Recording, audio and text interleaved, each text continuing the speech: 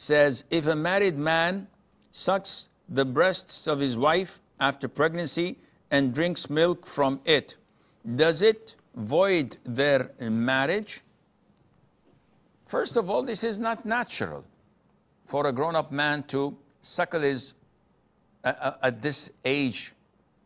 You could go and buy some coffee or cappuccino or drink milk if you're interested, but to do this is a bit ridiculous and weird. Nevertheless, does the prohibition continue? And is he considered to be a child of his wife through suckling? The answer is no.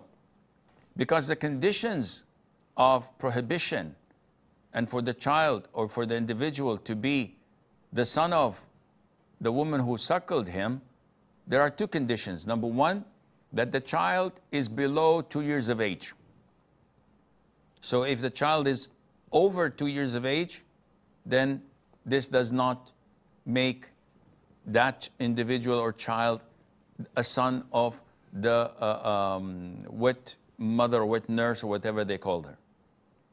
The second condition is that the sucklings should be five meals, not just uh, uh, um, uh, one or two meals, rather five full meals that the child leaves the breast willingly because he had enough.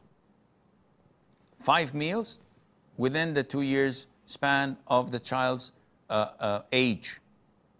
And after that, the suckling does not work, and Allah subhanahu wa ta'ala knows best. Uh, Muhammad